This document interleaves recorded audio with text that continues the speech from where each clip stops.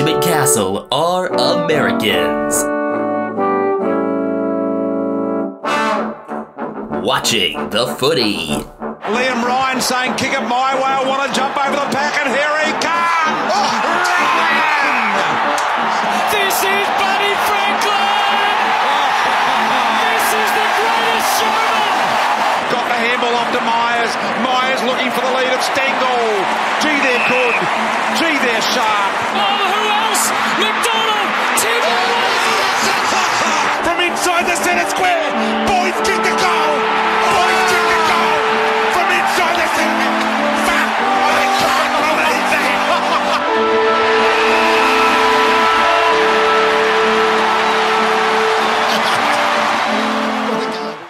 Time of day, everyone. This is Americans Watching the Footy, our third episode of season two, episode 75 overall.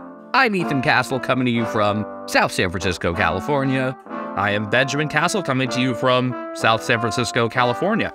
And Brian Harambe, the footy cat, is also around. He's outside. He's playing with his favorite mouse toy that he just found again. Yeah, a lot's happened since we last recorded. Um, everyone except me has had COVID, basically. You're built different. I know what you're going to say. I, I am. I mean, I was the one that was taking care of the Paris War because you were elsewhere for a lot of the time. So I understand why I got it. I'm glad we didn't pass it to you. Yeah, um, we've got a lot of footy news to go through, so this episode is kind of just going to be a giant news dump, which, I mean, it's good that we finally have enough news to do like a news dump more than once a month, because there were stretches of the off season that were really slow, so this should be a good dump, hopefully as good as like a post-Dutch Bros dump. Have you ever taken a post-Dutch Bros dump? I can't recall when it happened. I've had Dutch Bros a couple times. I I know the stories from you and others. I don't think Dutch Bros is around in Australia. No, it's not. It's yeah, it's very very local. It's like Pacific Pacific Northwest. And then they've spread elsewhere, but it's yeah, an exclusively U.S. thing. But but it's a good dump. Um, it runs through you and you get it out. Yeah, Dutch Bros is like coffee and kind of other associated drinks, often uh, like kind of smoothie type stuff, along with coffee, like fluffier stuff. But it's good. Just goes through you, I guess. Yeah. Whereas the post Tommy's dump I would not is know. painful. So Tommy's is an LA-based burger chain, mostly in LA. There are a couple elsewhere in Southern California. There's one in like Vegas or something. But think In and Out, but everything has chili on it. It's really good, but it's I can understand why that would be painful. yeah. So, I mean, great way to start the episode. Great. Um, if anybody has had their lunch before listening, I imagine at least a third of you have lost it now. So we got a lot of captain changes to go through. We got drug stuff, money stuff. But first off, we've got a little crossover thingy. Yeah, and the crossover is St. Kilda Heartbreak. Because, of course, a former Saint would lose the Super Bowl in just kind of gut wrenching fashion. Arryn Siposs did end up playing. He punted a couple times, and his last punt of the night was his worst, and it led to a big return that wasn't his fault. He ended up pushing the runner out of bounds, but by that time, Kadarius Toney had made it to the five yard line. The Chiefs ended up taking the lead a few plays later, and it was just kind of a perfect St. Kilda way for things to happen. I feel bad for him, but I saw it coming.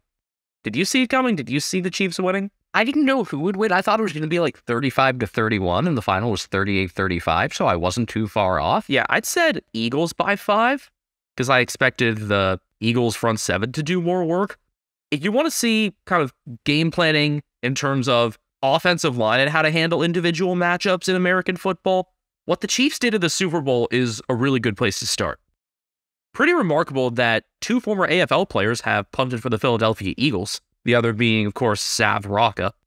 Also, another St. Kilda connection, Nick Riewoldt appeared on ESPN Australia talking about the AFL and some of its crossover with other codes.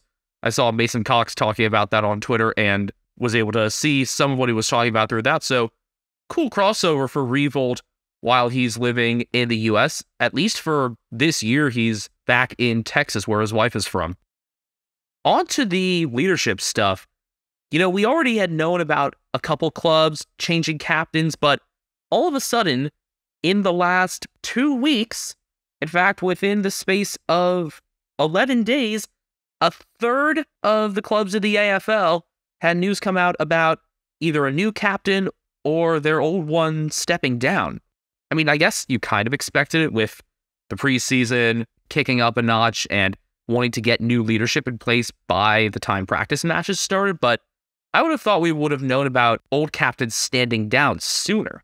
It's going to be interesting. We're going to have some different voices, you know, to say, Are you ready, kids? And then, you know, hopefully people will be used to that voice, so they'll still say, Aye, aye, captain. That was terrible, Ethan. Do better. All the captaincy chatter began on February 7th when Nat Fyfe stood down as Fremantle's captain after six seasons. I thought it was going to happen maybe after this next season.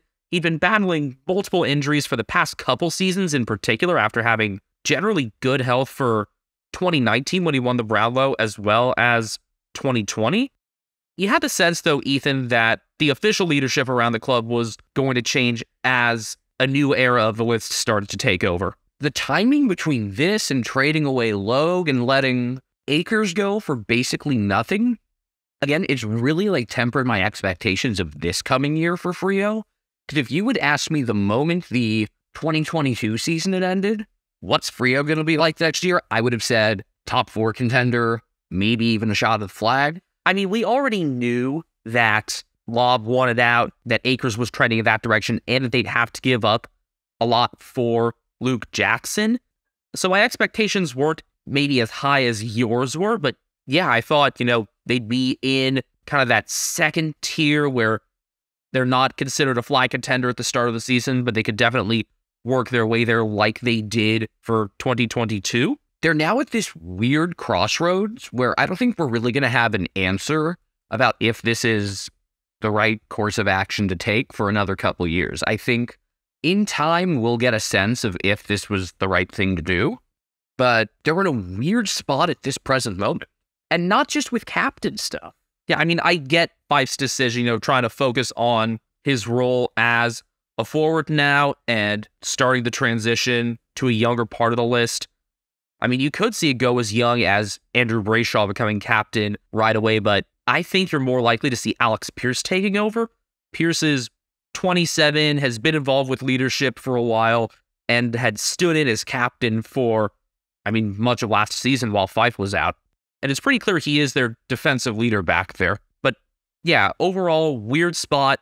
You know, you see a lot of clubs transitioning between eras. You see Richmond doing it pretty smoothly. I think Geelong, what they're going for. Yeah, I mean, Richmond, Geelong has done it clearly as well as anybody, but I'm not sure if Freo are going to be quite there alongside those clubs because they've gotten much younger as quickly as they have. I mean, I want to see a full year out of Jye Amiss, and we've got so much more to look forward to with guys like your favorite on the list, Nathan O'Driscoll, Heath Chapman working things in the back. So they've got positive trending pieces, of course. But are we looking at really 2024 contention for them now? It's that they're making this shift like in the immediate aftermath of one solid season instead of after, you know, multiple years and a real flag run.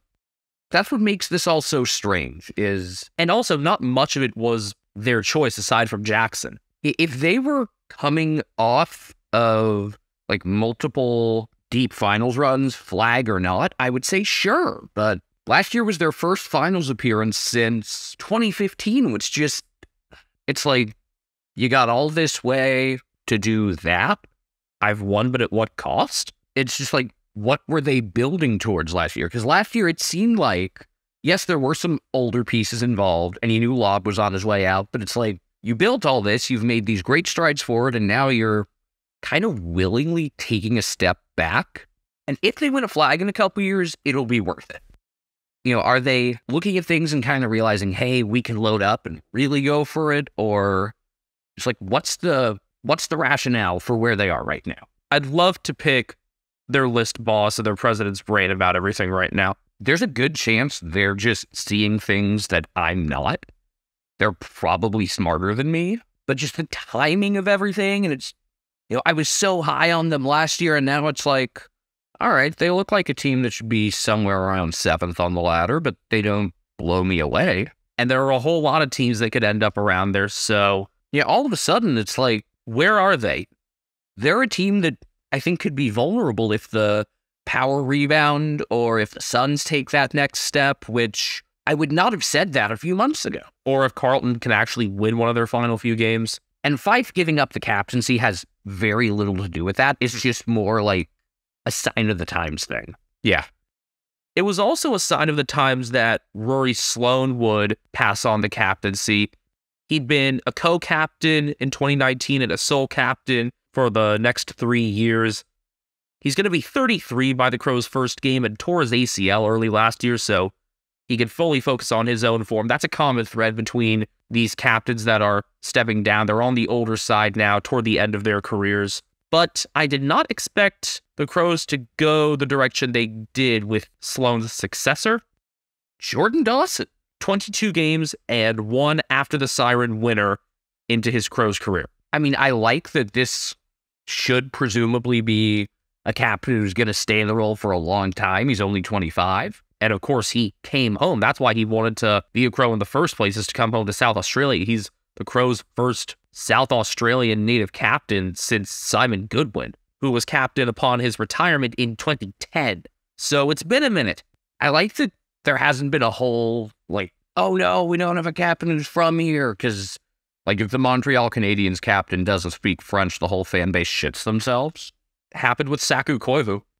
Dawson was added to the leadership group partway through the season, but again, having somebody come in so quickly and then being named captain, it just seems really sudden. And I want to know whose decision it was to name him captain. You know, a lot of clubs have players vote on it, but that isn't always the case. So, was it Matthew Nicks' call? Did upper leadership of the club have a say? Really, who made the decision here?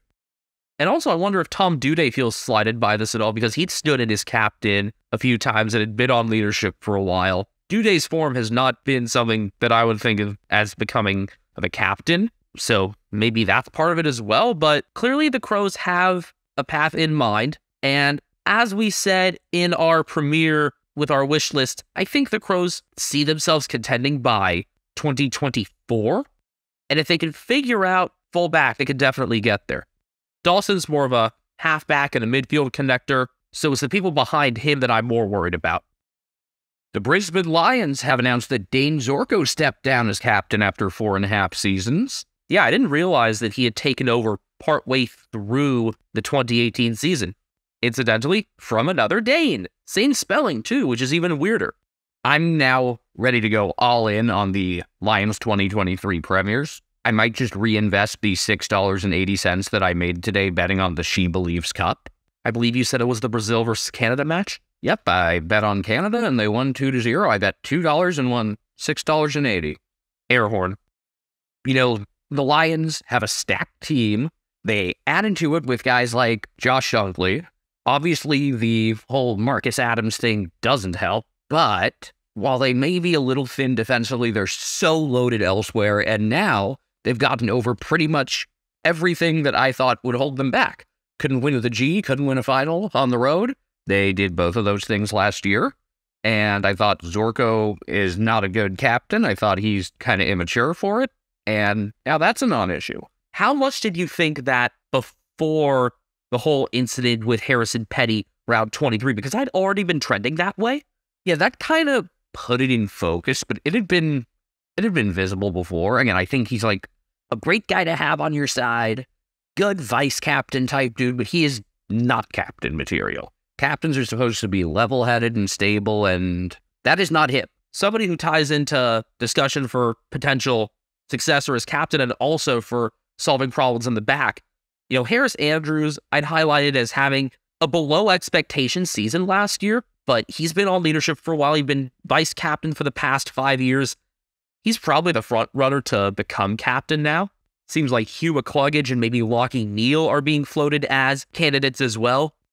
Andrews does really need to be that leader on the field, especially in the back third. Without Adams, he doesn't have someone as skillful as, and some of the other pieces around him to support him. So he's going to be in focus regardless. As for who else fills out that spot, Jack Payne took Adam's spot during finals. Darcy Gardiner was up and down last year. I remember pinpointing him a couple times as being responsible for a couple goals that turned games against Brisbane's favor. But the sum of the parts back there, I think, should be able to keep them afloat, if not more, especially when they should have enough scoring ahead of them. If you're a big believer in defense wins championships and you look at Melbourne zone defense in 2021, the Great Ball of Geelong last year, I see why you'd be a little hesitant, but I just think this team is so good elsewhere that it'll compensate. And my prediction right now would be Lions over Swans in the grand final. You know, it's funny, even that you're talking about captains needing to be level headed, probably having clean records because Toby Greene is not that. He falls much more into the Dayne Zorko camp. But on the 15th, it was announced that Toby is Greater Western Sydney's standalone captain. He'd been co captain last year along with Stephen Coniglio and his eyebrows and Josh Kelly. Those two are now vice captains. I mean, I always had the feeling that if they were to name a standalone captain, it would have been Toby.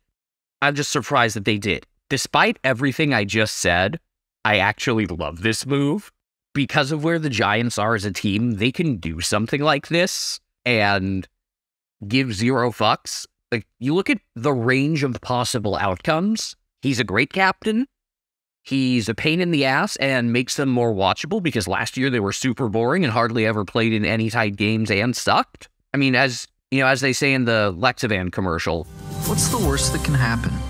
you know, the worst that could happen is like someone feels alienated and people end up leaving. But I mean, Toby's already 29, which is kind of old in footy terms. And Adam Kingsley probably is going to want to usher in his own guard. And in a couple years, Jason Gilby will be the captain and everyone will have five gallons of milk a day anyway. So I really think this is a thing where if this was a team with any sort of real aspirations at all this year, I would be screaming like, "No, what the fuck are you doing?" But because it's GWS, who's probably going to be really bad and was just boring and not worth thinking about for more than 10 seconds last year, this instantly makes them more compelling and more watchable. So I am all for. So all it took for people to actually pay attention to GWS was Toby Greene and a few cartons of milk. It's more than a few cartons of milk.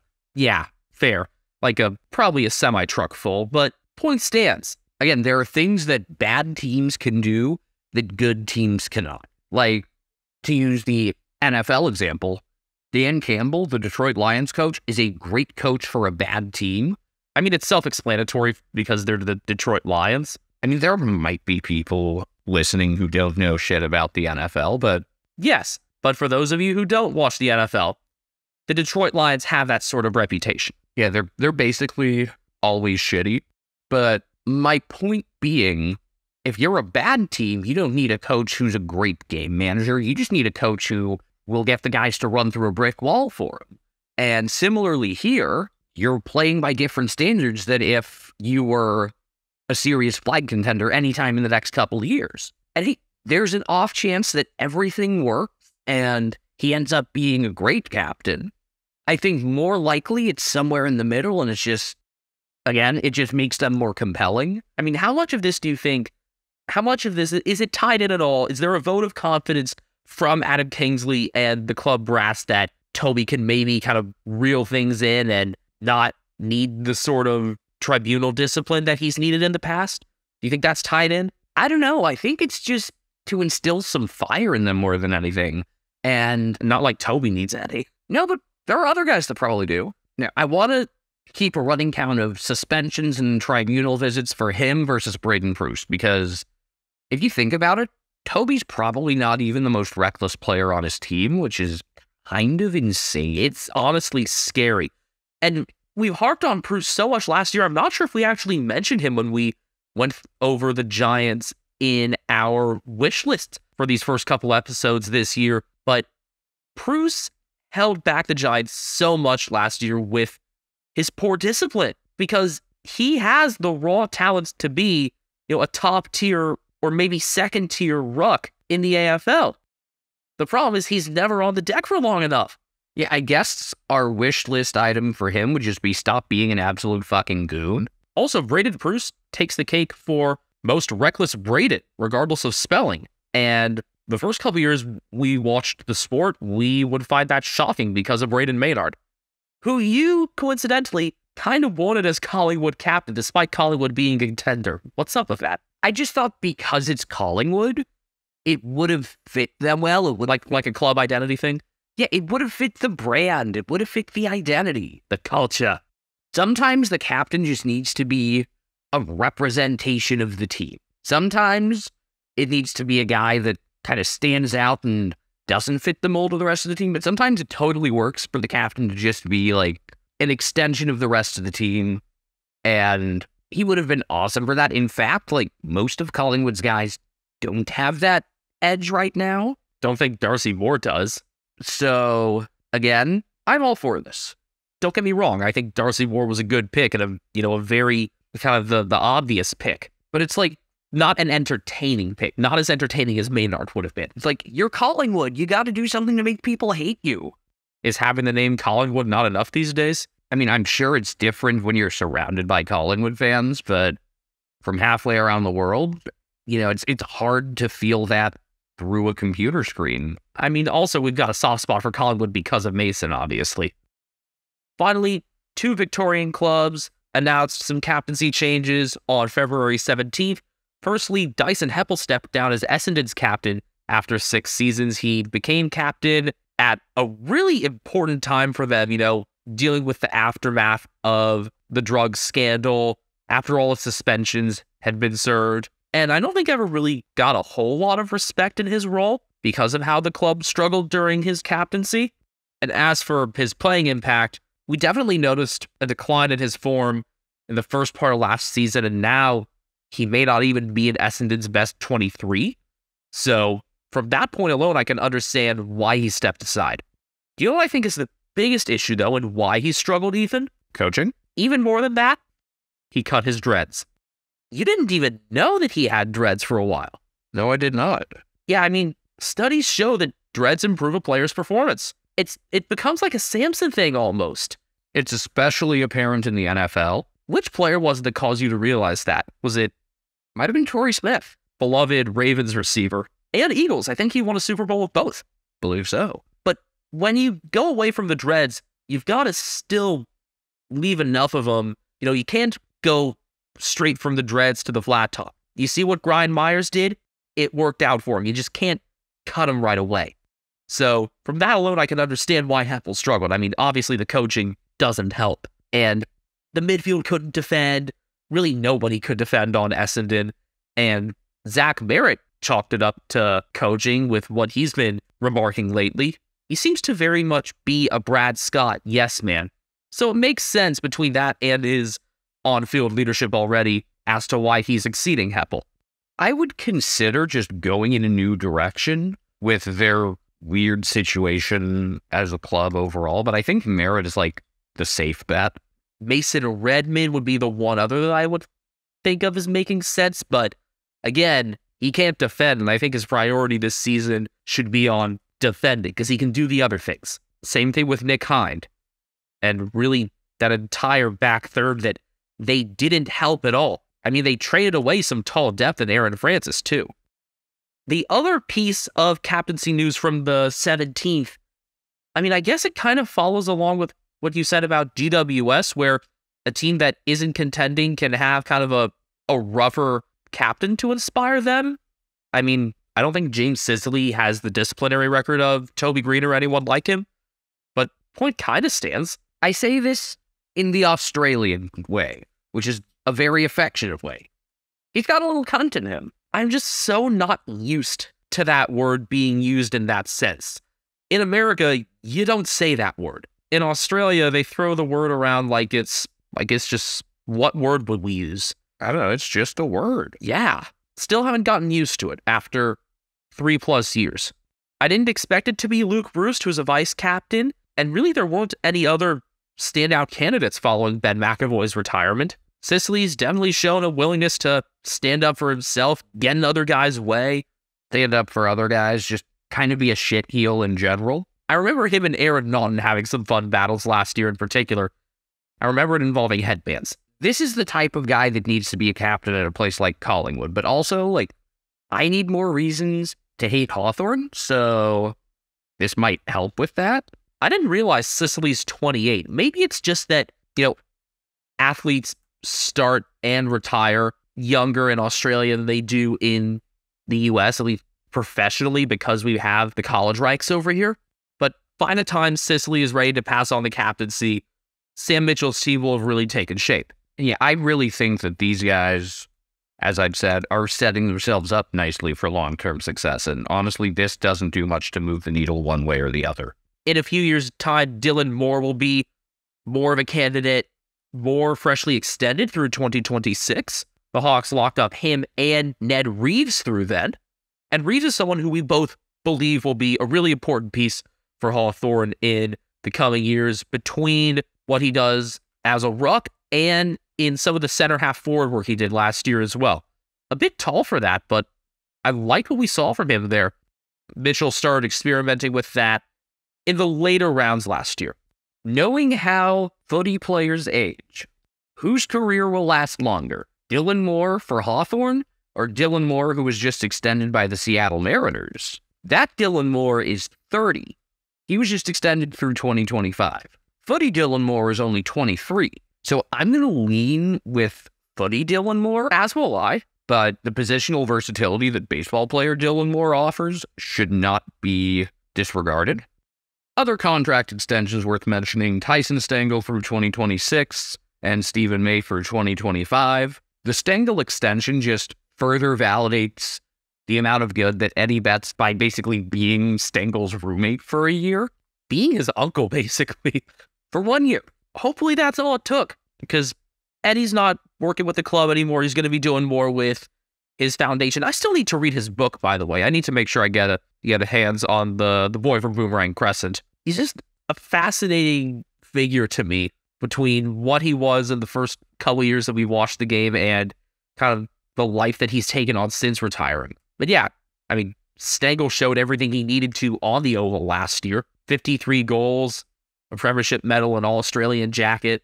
And at 24, he's likely just about to hit his prime. Although he could be like younger than most guys his age in terms of wear and tear because of the time he spent not playing.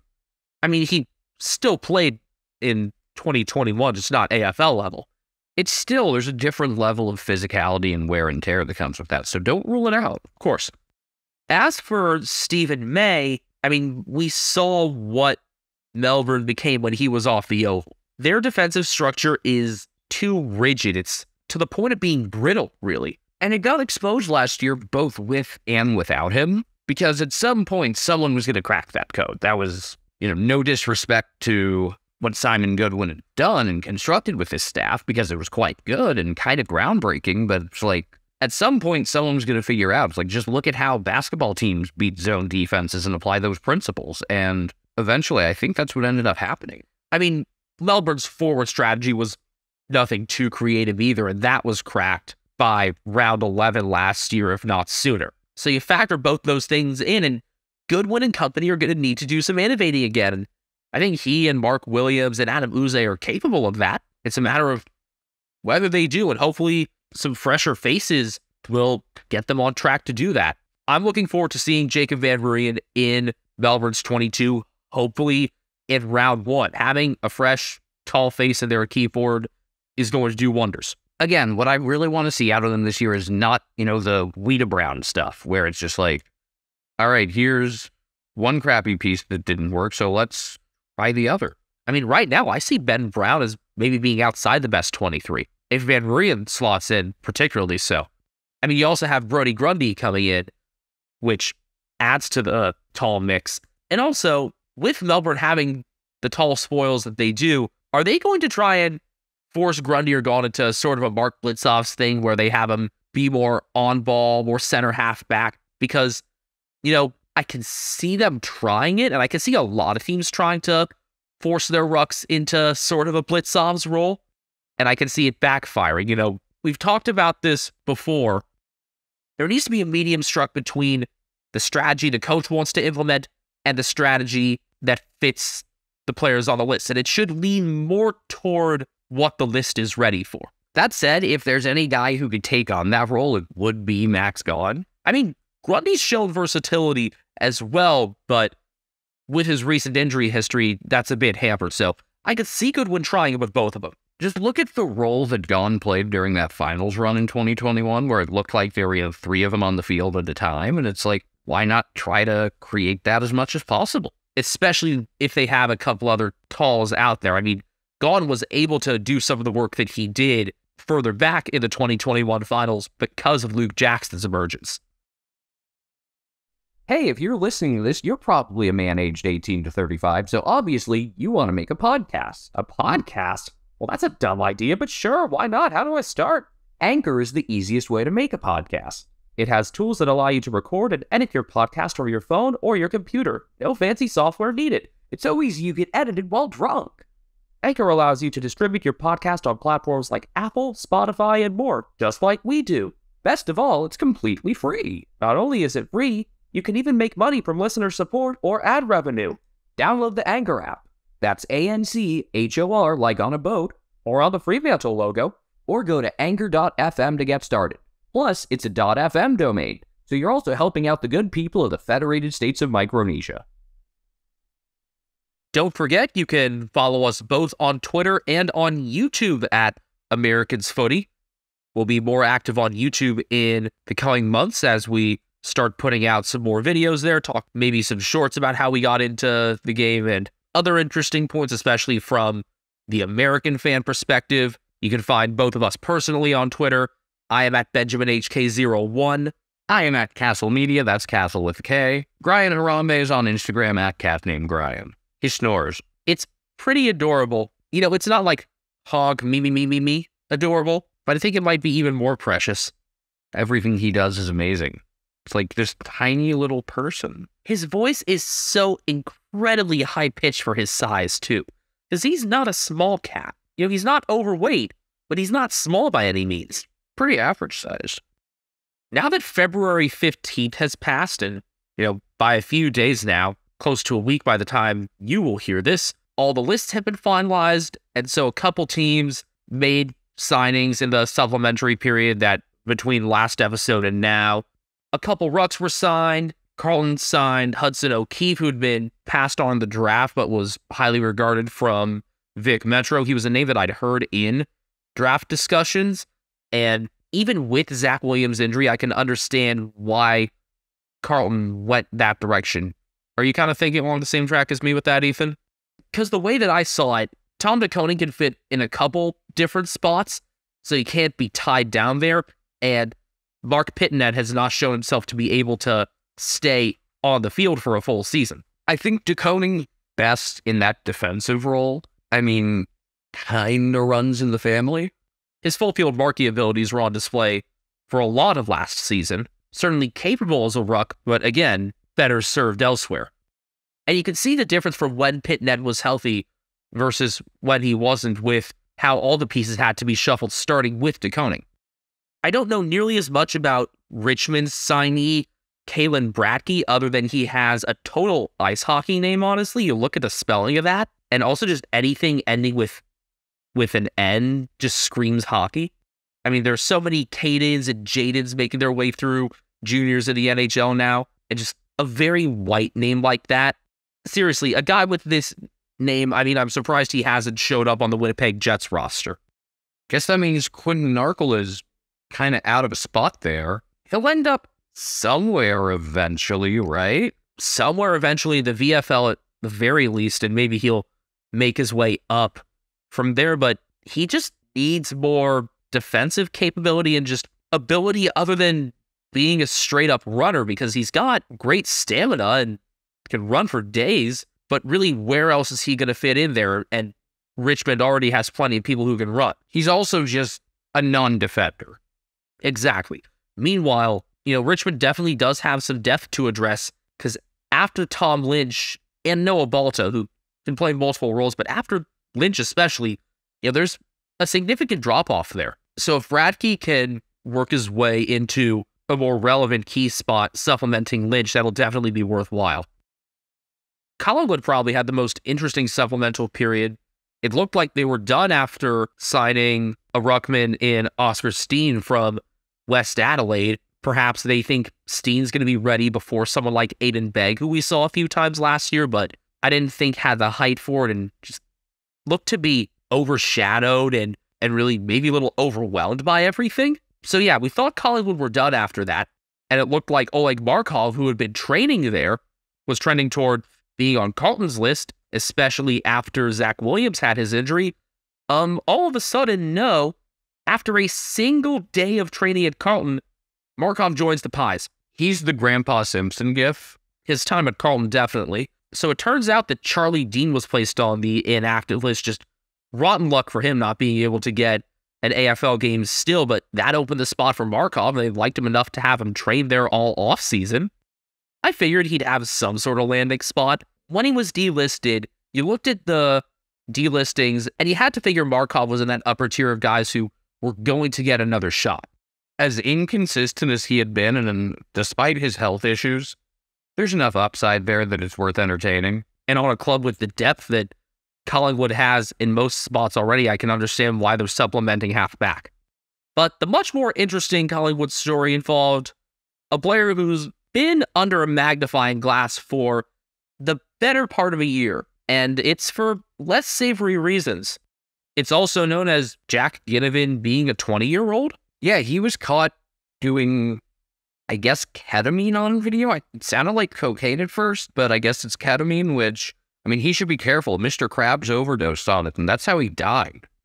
My first question is especially when you're as public a figure as Jack Ginnivan is, why would you do that anywhere than, you know, completely in private? And because you know that there are going to be cameras on you anywhere, apparently, including in a toilet stall, which is a whole other topic.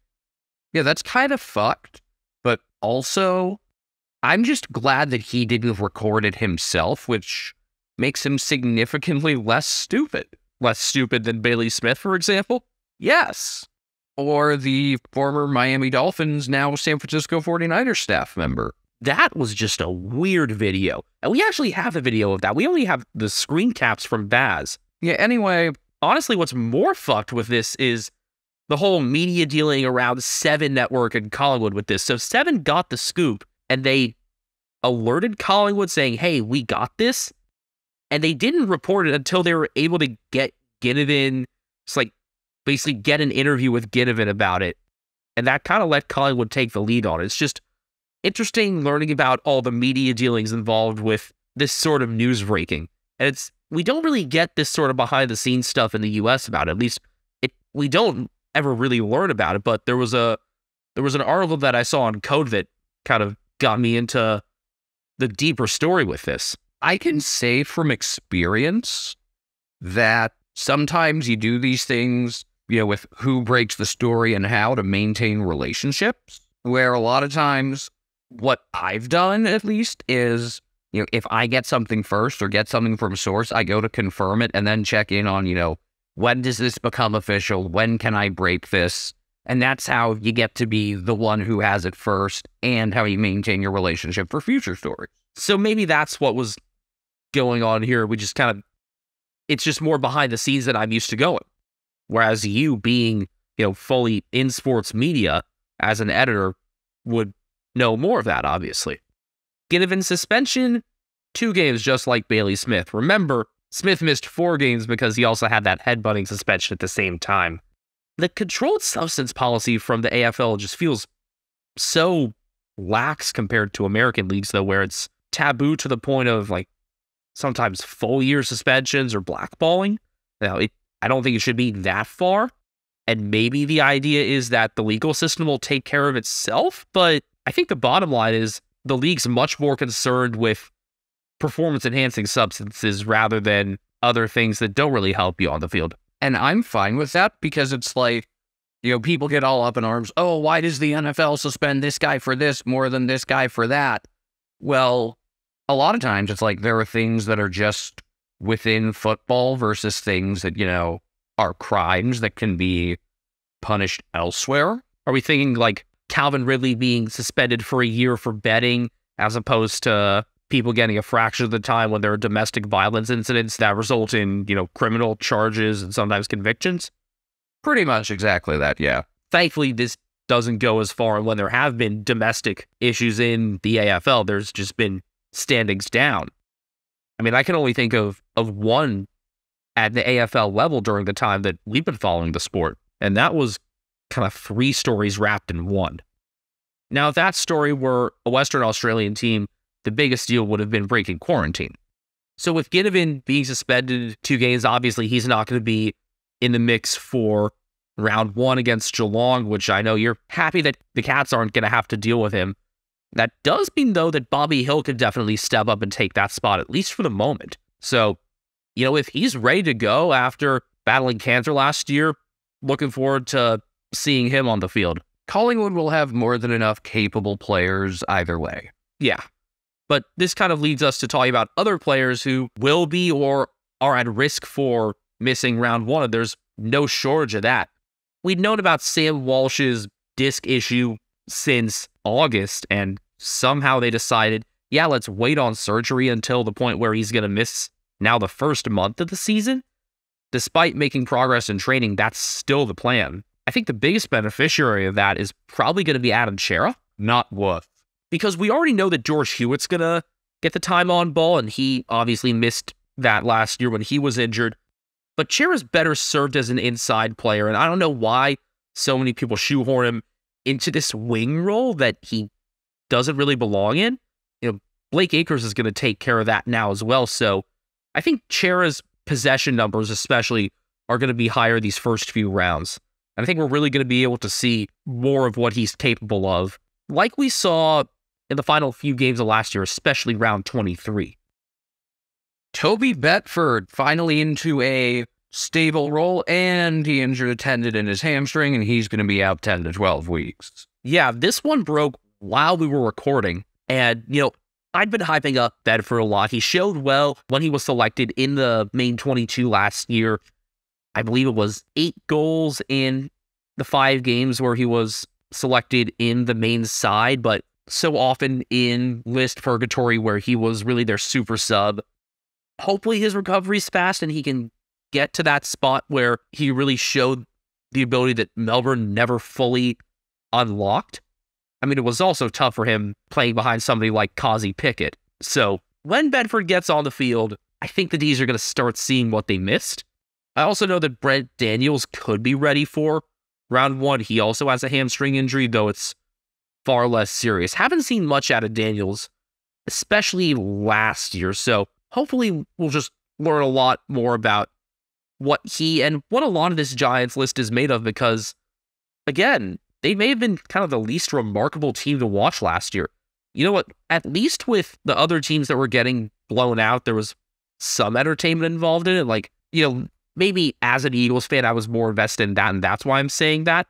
Well, some of those Eagles games, you know, it was like the stop, he's already dead type deal. GWS didn't usually get to that level. It was just like just enough that you don't change the channel by halftime, but not enough that you're on the edge of your seat. It just kind of became background noise. Someday, parents will explain to their kids that they're there because they got really bored watching the GWS Giants, so they bong. We'll go with that. On to a team with ongoing depth issues. We've been bemoaning St. Kilda's key forward injuries throughout this offseason. Max King is going to miss significant time. Jack, Jack, Jack, Jack, Jack Hayes is missing the start of the season with a broken metatarsal. Now Tim Membrey has had minor knee surgery. He's expected to be fit for round one, though he might not be at 100% for that. So it just becomes even more dire because Membrey was probably the biggest difference maker kind of on a game by game basis for them last year, I'd say. They were bad to begin with. This really doesn't affect much, even if he was out long term. It's not going to change my perception of them. Maybe they win five games instead of six with their injuries. The weird thing to me is that, you know, they were talking about Dougal Howard as an option to move up from fullback when it's like your defense sucks to begin with, and he's one of the better members of it. I mean, I have heard more conversation around Zane Cordy being moved up before this. Are they saying Howard in addition to Cordy, or is, is it this dire that it's really all tall hands on deck? I was thinking this is kind of like one of those, you know, would you rather lose 120 to 60 or 140 to 70? You know, it counts the same way percentage wise, but I don't really think the Saints are going to be concerned about percentage when it comes to the end of the season, unless it means that they get a slightly different draft pick in what's expected to be a pretty deep draft class. I'm still thinking about this is a new term that I am going to have to get patented or trademarked or something baby making footy, where it's like footy that isn't shitty enough that you just turn it off and go to sleep, but also not good enough that you're actually compelled. So you have it on in the background and you bump uglies. I thought that you'd just be in a closet and the baby would end up looking at Ralph Wiggum. Making babies, and I saw one of the babies, and the baby looked at me. On the Bulldogs front, Cody Weightman has an adductor injury. We don't know how bad it is, and there's been no talk about him missing round one. So hopefully that's one of those things where it's not, you know, oh yeah, it'll be back to training in a day. And then, you know, two weeks later, oh yeah, he'll be back to training in a day. And it just keeps on going down the road. Hopefully this isn't one of those because I'd like to see a full season out of him and see if he can create some stability because you know he was one of those guys it's like six goals or zero with like no just okay performances he was either great or invisible Six goals, no goals, or an elbow popped out of its socket. He continued playing in that game. I just remembered that super high scoring affair with the Giants. See that was not baby making footy that was actually compelling footy Yeah, rare for GWS. Yeah, that was 125 to 105 back in June. Definitely not baby making footy.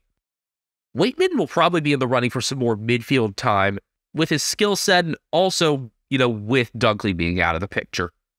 So where exactly he slots in will be interesting to watch. They've also got, you know, the plethora of talls that they have that could make him a little redundant there. You already have Josh Bruce being moved back, which is puzzling enough to me. I mean, I guess you'd rather have Aaron Naughton and Sam Darcy forward than Bruce at this point. i don't know it's also funny because you know a guy coming off an acl injury you probably want him moving less and being a full forward would entail moving less i'm just shrugging i'm just saying it. also adam Treloar hurt his ankle more than three weeks ago now i believe we discussed it before his chances of playing in round one are increasing Treloar was really, really visible last year, I'll say. You know, whether he was good or bad, he was a player with a lot of focus. I think, especially with Bontempelli sliding up, Treloar had a lot more on ball time along with Jack Macrae. And I think Treloar is just in general a more noticeable player between him and Macrae. So the spotlight will be on him again for sure. Is it also the just kind of being a former Collingwood player and the attention that goes with that? I don't know. I think that would have dissipated by now. I think it's more that he's just really good and really important to their success. I mean, you you can say that about Macrae just as much. You know, what is it about Treloar that makes the difference, though, between him and, and Macrae? Maybe just kind of I think the recency of him moving, not so much the Collingwood factor, that just that it, you know, this is only his third season there, whereas Macrae's kind of been there. yeah. And, you know, his style of play isn't flashy, but it's definitely more noticeable, I'd say, than, you know, a very consistent passer like Macrae. Now, it's taken this long for us to mention it, and it's taken this long for it to happen. Some injury concerns are present at Mineral Resources Park for the West Coast Eagles. Not as severe as last year, but it may involve a delayed start to the season for one Jack Darling once again, although this time it wouldn't be because of his own choice. Or do we chalk that up to a brain injury? This time, it's a left angle issue. Surgery is not required. There were fears of our favorite injury word, also our least favorite injury word, syndesmosis. We haven't really heard of that at all before we started watching the footy, huh? No, Blake, I don't think we had ever. Which is strange because it's a pretty common sports injury. I guess we just we never heard American sports go into that sort of specificity with ankle injuries, but that's not the case for Darling. He doesn't have that, and he may be available round one. But the Eagles also win the award for weirdest injury of 2023 thus far.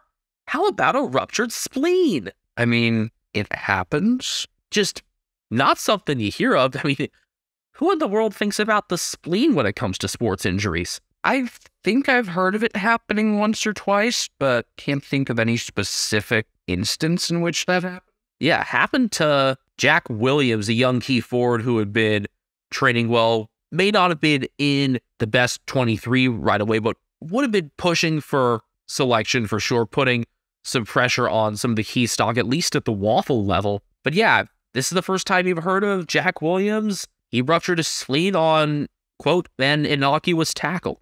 Happens. Now, it's fitting that since we've been talking about a Western Australian team, that the next name in our notes is Mark McGowan. This one being the reporter. Yeah, that's the catch there. You know, this isn't a Mark McGowan who's like got a lockdown the state button like President Trump had a Diet Coke button.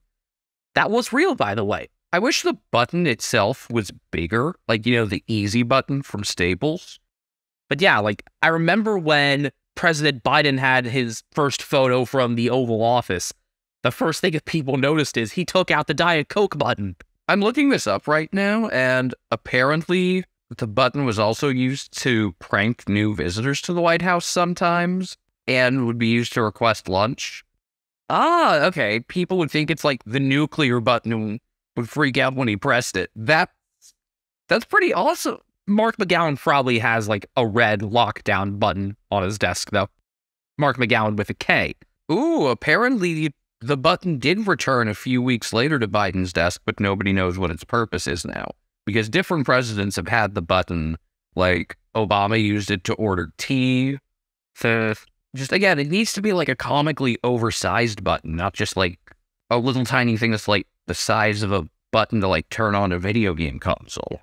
Yeah, but this story comes to us from Mark with a C McGowan, the footy and tennis reporter primarily for The Age. So I was reading this story from him from a few weeks ago about the injury allowance and how that's declining and all sorts of other matters about AFL finances and just everything about it that I read aggravates me because we know so little about it. You look at US sports and there are websites dedicated to breaking down salary situations for teams.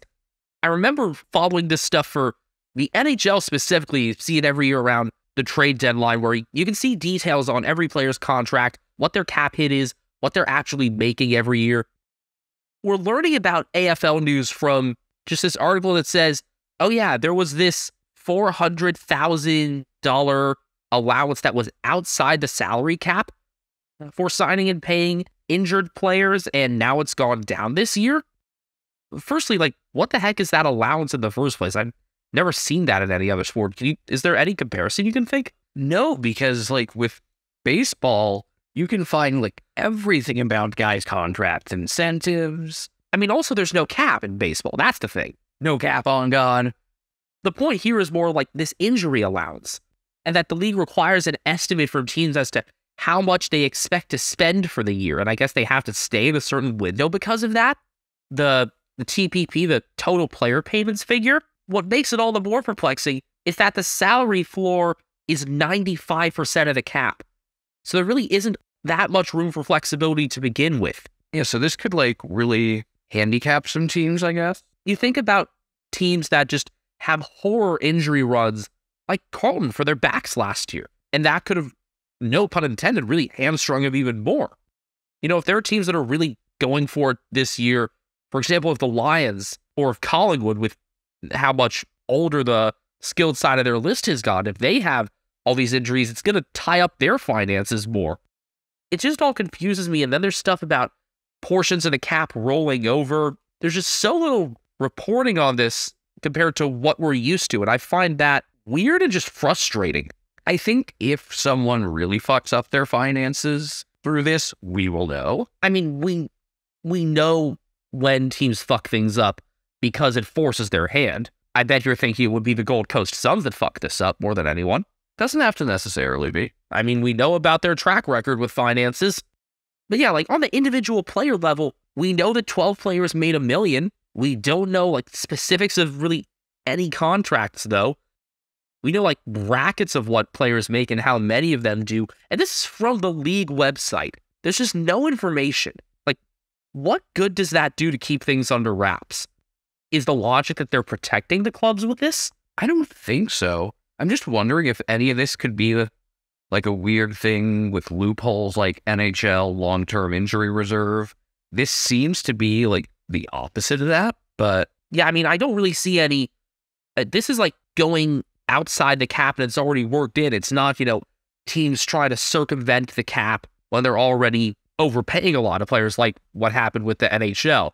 You know, the Arizona Coyotes in particular were a team that took on all these old players' contracts knowing they wouldn't play and just said, yeah, we'll pay you. We'll put you on long term injured reserve or whatever so that we reach the salary floor. Don't be the Arizona Coyotes. in like any way. Yeah, they're current play they're currently playing out of a 5,000 seat college arena. I don't think it's even 5,000 seats.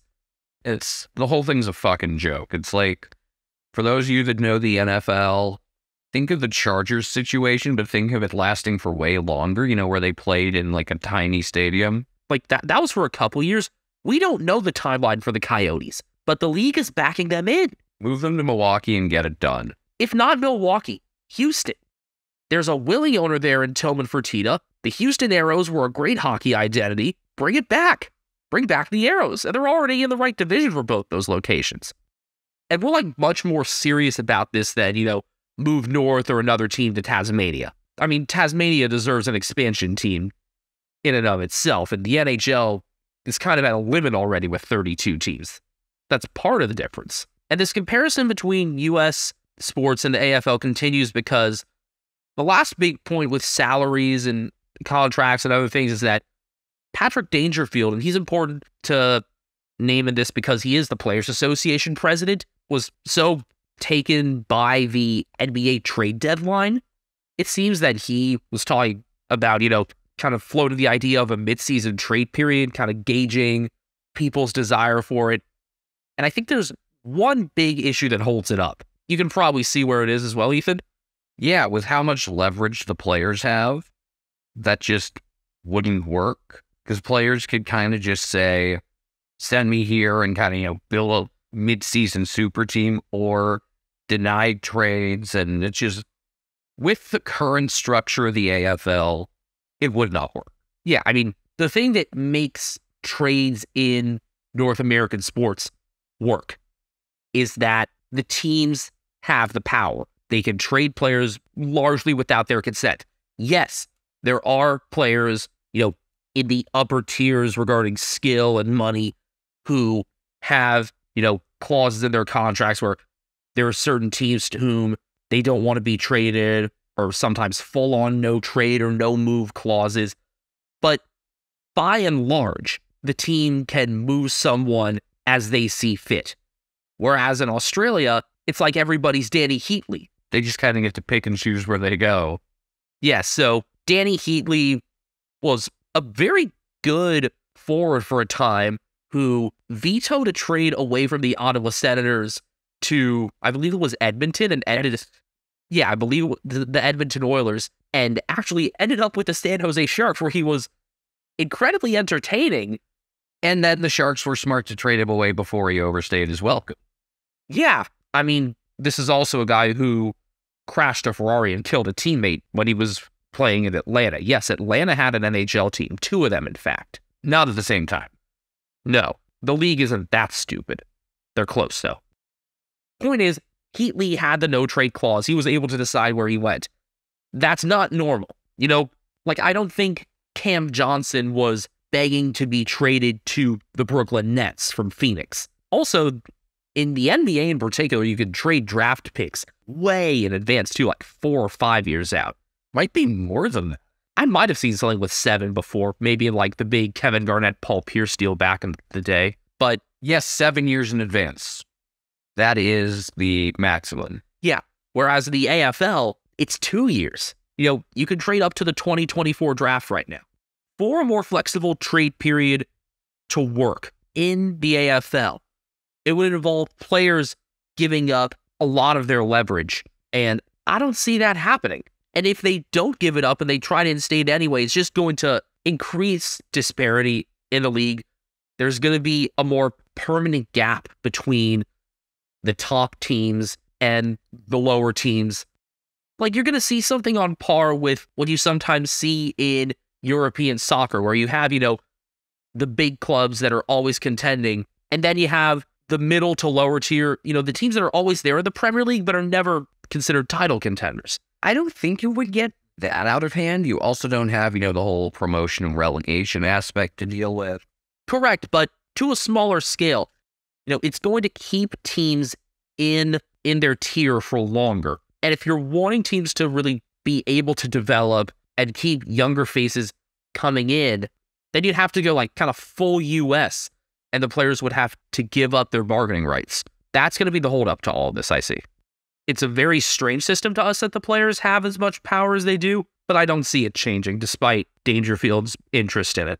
I mean, he benefited from it before. I think it was more just kind of a fun what if than anything. I think so, but it's good fodder for conversation. A couple pieces of trivia on a day that recently passed as we are about to wrap things up here. February 15th was an important day in footy for two reasons. Firstly, it was Neale Daniher's 62nd birthday, and you know, through the big freeze and learning about his battle with MND or ALS as we call it, it's just been really cool getting to know about Neale Daniher, his playing career, and just how positive his outlook on life is despite everything he's going through. Like, you always see him smiling, and I think that's pretty incredible. Our lives have been touched by ALS. We lost a family friend to it, and the positivity he has with it is, you know, something that's pretty rare and something that we should really cherish. The one other thing, February 15th also marked 10,000 days since Carlton won the flag. And honestly, I think Neale would be laughing about that right now. Carlton are, continue with the hockey comparisons, Carlton are the Toronto Maple Leafs of the AFL. They might not have the longest championship drought like the Leafs do in the NHL, but the status is there, the colors are there, the upper class part of it is there, and they always find a way to be fucked by their own circumstances. And the rest of the league just gets this perverse entertainment out of it. One last thing before we go, and this is something that Ethan thought up, and we want to pose this to everybody who's listening as just a good question, a good thought experiment. You want to take this away, Ethan? Yeah, so your club will never beat one other club again, ever. In fact, you will lose to them every time. You will not ever draw them. You will lose. Home and away, finals, scratch match, we don't care. You will lose to them forever. Sometimes you'll get blown out. Sometimes you'll, you know, take them down to the wire. Either way, you're going to lose every time forever. However, you get to choose which club it is that you will always lose to. So I picked Melbourne for this because they're generally likable. They have a really funny song to the point where you can't be that upset after they beat you. None of their players are that obnoxious. They don't have enough fans to be obnoxious. I mean, they've got a membership base that I think is a little smaller than Geelong right now. It's just, it's hard to get that upset about them. They're likable and I wish them well, and I think they're silly in a very good way. Kozzie Pickett is awesome. We kind of have to say that when we talk about Melbourne. Ooh, that's true. He he is pretty cool.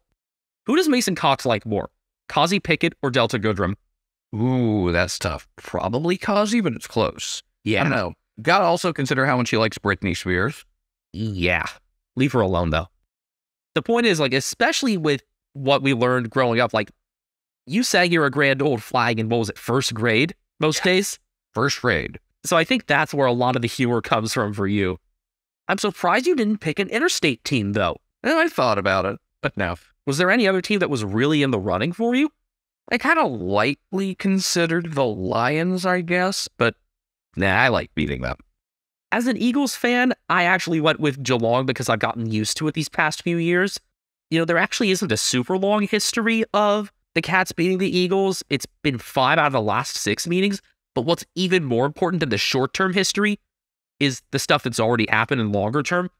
West Coast will always have a leg up on Geelong because the Eagles beat the Cats in the 92 and 94 grand finals. Before you were born. Yes, but it stands. And so, unless somehow they match up in another two grand finals, they're always going to be able to be holding that over Cats fans regardless. So, whatever else comes their way, they manage that. And it's, you know, a pretty unique thing to be able to say that. You know, it's not a huge number of premierships and multiple of them were over the same team. So, and that team all obviously being interstate helped as well.